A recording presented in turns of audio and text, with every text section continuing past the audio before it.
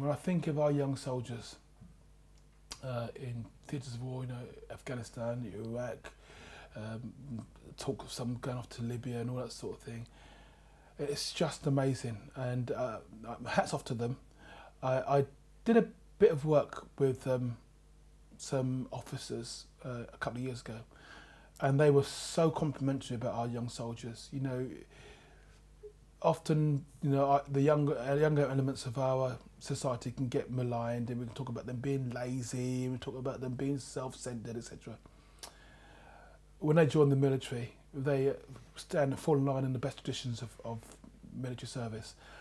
Um, I admire them. I, I myself would be, I would be very very scared if, if I had to go to Iraq or Afghanistan.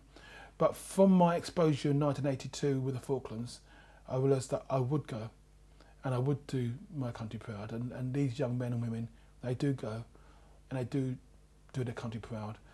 Um, I'm not always sure that we get, we go and we fight for the right reasons, but once our once our government of the day decided they're going to go, our young men and women put themselves on line. Me personally, whew, it's a real big deal.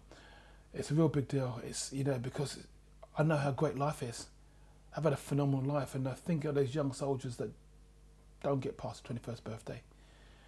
You know, and it can be a statistic to many people in the country.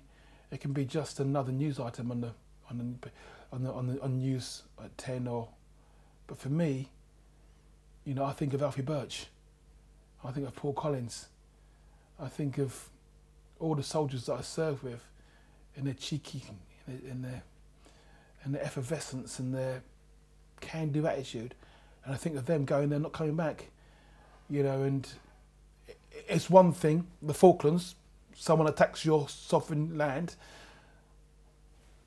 it's another thing when you're in other. I don't want to get political, but it's another thing when you get into all sorts of skirmishes, because these are real young men, real vibrant, sentient, funny, engaging, powerful young men that have got the whole world ahead of them. You know, and some of them not come back, and so it's you know, when I see that, it's quite a poignant moment, and I, I know I've stood there before myself. I didn't go. I would have done if they'd called me. These guys do go. They do us proud, and some of them don't come back.